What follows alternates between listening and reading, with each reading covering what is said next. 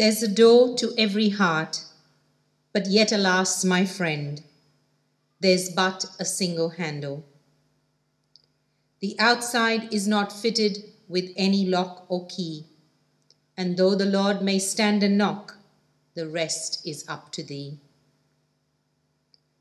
These are just a few lines of a poem I read as a child. I do not remember the rest of the poem, the title, nor the poet, but they remind me of the most intriguing gift God has given to us human freedom. According to the Second Vatican Council, freedom is an exceptional sign of the image of God in humanity. It is a gift that calls us to respond to God's initiative of love. In Galatians 2:20, Paul writes, "And it is no longer I who live, but it is Christ who lives in me. And the life I now live in the flesh, I live by faith in the Son of Man who loved me and gave himself for me." You and I were loved into existence. We were redeemed in love, and we are sustained every day in and through this love.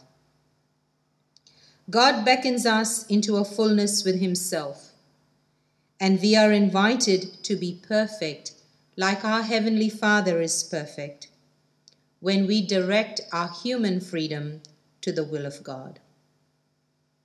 For freedom, Christ has set us free, Paul writes in Galatians 5:1. Through faith, we are invited, not forced into obedience to the will of God. For this reason, when Pilate questioned Jesus in John chapter 12 verse 32, and again John 18:37 we read, "For he bore witness to the truth, but refused to use force to impose on those who spoke against it. His kingdom grows by the love with which Christ, lifted up on the cross, draws all men to himself.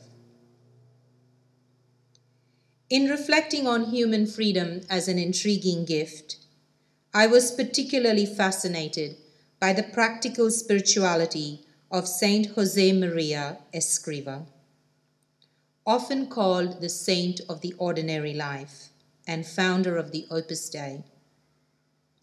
From his insights on human freedom, I derived four aspects that I would like to share with you in this reflection.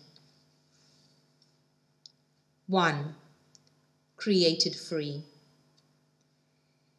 In Galatians 4 7, we read, So you are no longer a slave, but a child and if a child, then an heir. You and I were created in love and for love. St. Augustine says, God who created you without you will not save you without you. God could have created man in such a way that he would be impelled to obey God. But instead, God gave him a profound gift human freedom. The gift to choose whether he would love and follow God or not. We see examples of this wonderful yet lamentable gift of human freedom played out through the scriptures.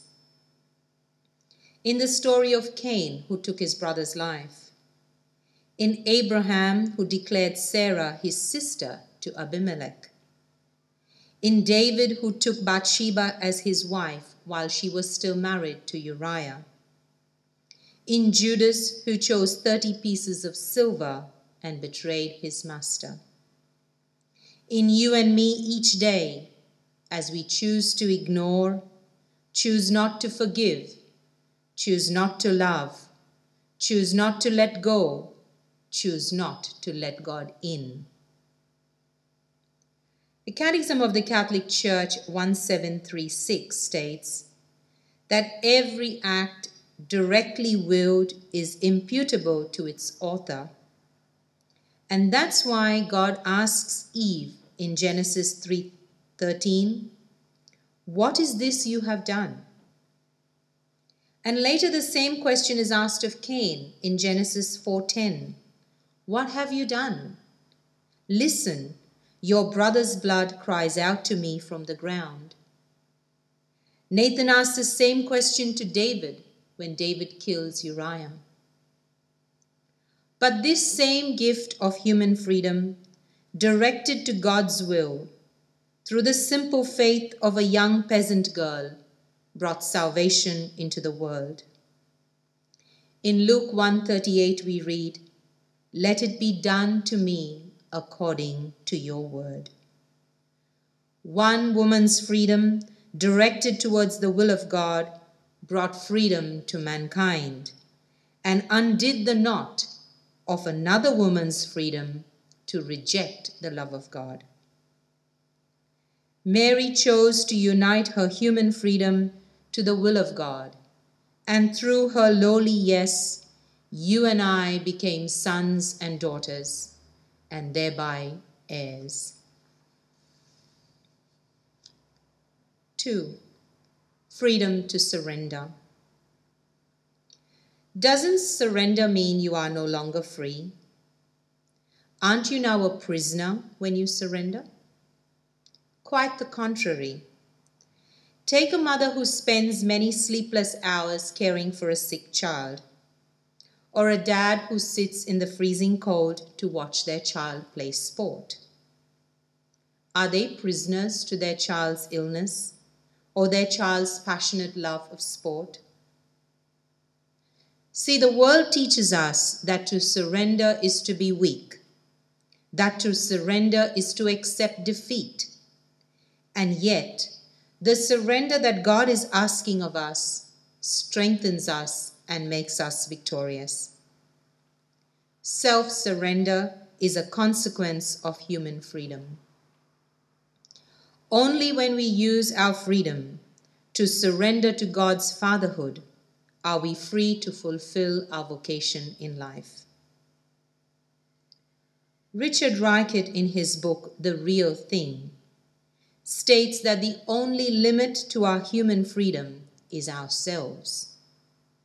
We choose to rob ourselves of the opportunity to become fully mature by choosing to be a slave of another master.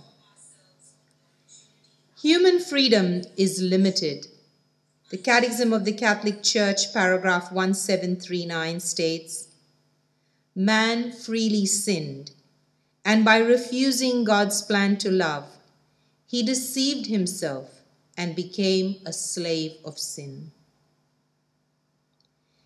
Jesus' death on the cross is the greatest act of human freedom in history.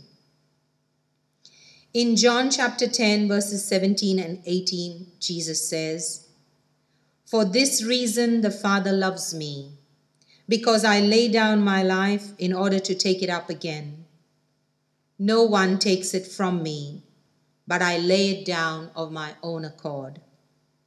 I have power to lay it down, and I have power to take it up again. Jesus willingly chose to die at the hands of his enemies for our salvation. The sting of death was forever ended, the wages of sin cancelled, my debt paid. Even though he could have easily escaped the excruciating pain and suffering. By submitting his human freedom to God, Christ gave us a share in his identity, in his sonship, in his divinity. We are not sons and daughters because of what we do. We are sons and daughters because of who we are. 3. Freedom to love. Secular freedom seems to be in a constant intellectual and moral state of adolescence, where, like teenagers, we define our freedom as over and or against any authority. For the world teaches us that the more power we can wield over someone, the more power you have, the less freedom for the other. And yet, the kind of human freedom given to man is for the sole purpose of love. We exist purely as a gift of love, and we cease to exist the moment God stops loving us. St. Thomas Aquinas says, God does not need us. He didn't create us to meet any of his needs, but we need him to meet all of our needs. If we truly love, we will discover that our own intimate parts lead us to a continuous conversation with the Lord. Our faith becomes a journey of constant discovery and not a destination. Our work becomes an act of love and not an investment that seeks higher returns. For this reason, Jesus said to the Pharisees, Give unto Caesar what is Caesar's, and unto God what is God's. Caesar's image was on one side of the coin, and so it was right for the people to pay taxes to Rome. You and I are created in the image and likeness of God. We are called to holiness by the baptismal titles of prophet, priest, and king conferred on us. So then, let's give to Caesar and to the world only what we need to, and to God what is truly deserving of Him, a heart that is free to love Him. Then our freedom, which is a valuable treasure, a pearl of great price, will not be cast before swine, but will be used to do whatever He tells us. Supreme love calls for supreme sacrifice. Charles Colson, a prison chaplain, writes about his visit to Humaita, a prison in Brazil. Colson writes Humaita is a prison with a difference. The first thing you see is a clean courtyard with inmates walking around freely. The prison itself is run by Christian volunteers, and the number of returning inmates is a mere 4%. So, what is the success of Humaita? The success of Humaita is the prisoner in the solitary cell. He continues, quote, We walked over to the prison's high security area and stopped in front of a heavy steel door.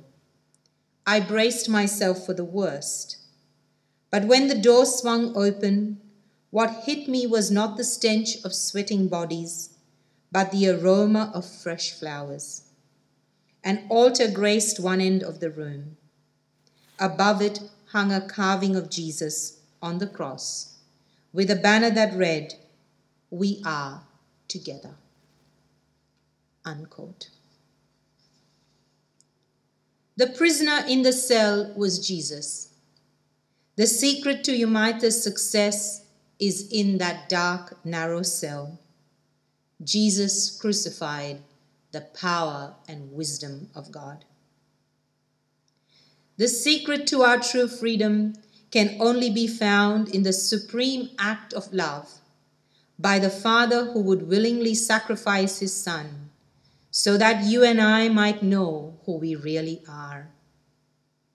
The secret of our true freedom can be found in the agony of a God who sweats blood, who is mocked spat upon, beaten, and nailed to a tree, so that you and I might know how much it costs. The secret to our true freedom is found in the breath of a God that hovered over the waters of creation and still hovers over us every day, so that you and I might know that apart from the love of God, we are nothing. 4. Freedom to participate. Saint Irenaeus, a second century theologian, writes Man is irrational, and therefore, like God, he is created with free will and is master over his acts. This freedom makes him a person and allows him to share in divine life. God allures us to freedom. He does not dictate to us. The Holy Spirit enhances the freedom of human beings so that the more we participate and cooperate with the will of God, the freer we become. In 2 John, sorry, in 2 Peter 1 4, we see that we become partakers of the divine nature of God. Peter, when afraid, gave in to his human nature and chose to deny Jesus. Yet, when this impulsive, big mouthed fisherman submitted his human freedom to the will of God, the church was born. And into his hands were the keys to the gates of heaven given. In surrendering his human freedom to God, Peter became a partaker in the mission of the church. The corporal and spiritual acts of mercy are our handbook for this freedom to participate in the mission of the church. You might say, there's not a lot we can do due to COVID, and that may be the case, but there is a lot we can do the church offers us an opportunity to be mission partners right here, literally in our own backyards. Pope Francis and the Australian bishops invite all Catholics to join in an ecumenical season of creation. This began on the 1st of September, which was World Day of Prayer for the Care of Creation and ends on the 4th of October, the feast day of St. Francis of Assisi. The Church calls us to a time of prayer and action in caring for our common home. The Social Justice Statement of 2021, Cry of the Earth, Cry of the Poor, calls us to look more closely at the ecological destruction humans have caused over the years, and it goes on. The cry of the earth is a resounding echo of the cry of the poor, who are most often the hardest hit in any natural disaster, be it famine, flood, earthquake, bushfire, or tsunami.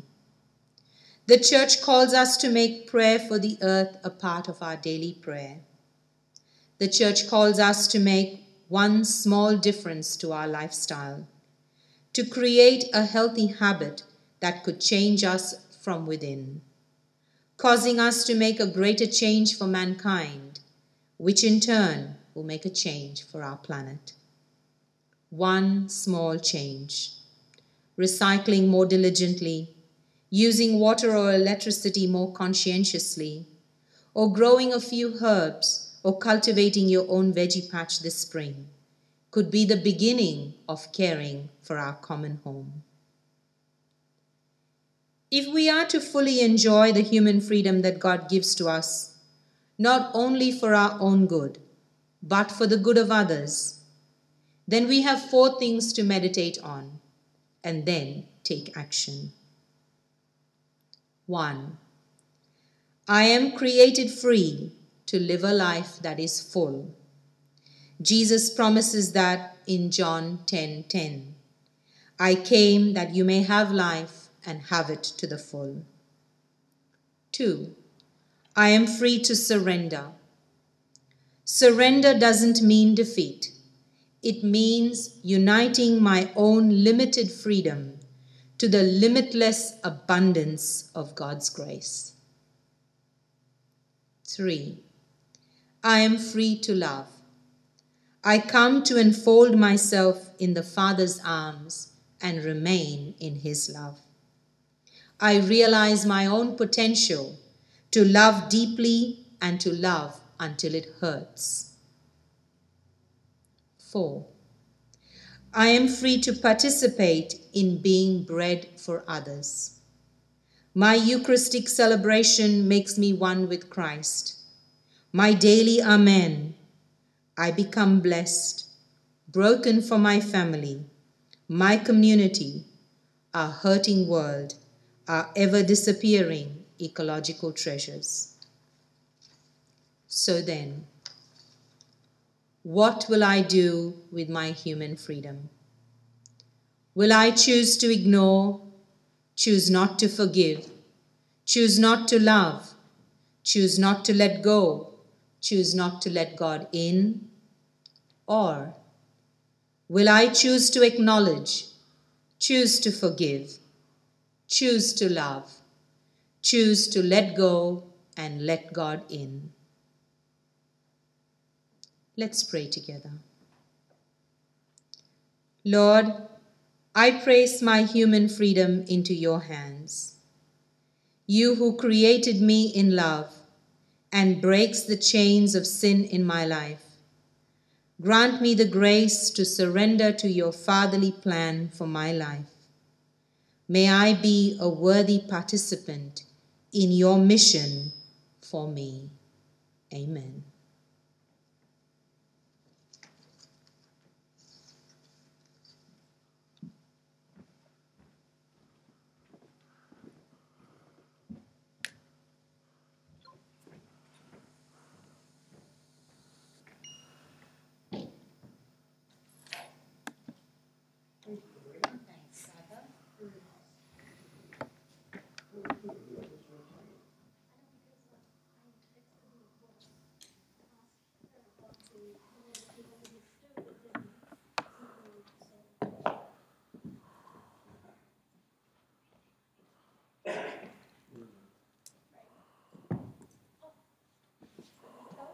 Do you want to put the statue away now? You want to move the statue onto the other table? I guess. I do, I do No. okay. Yeah, you can do it. Very nice, Maria. Thank you. Oh,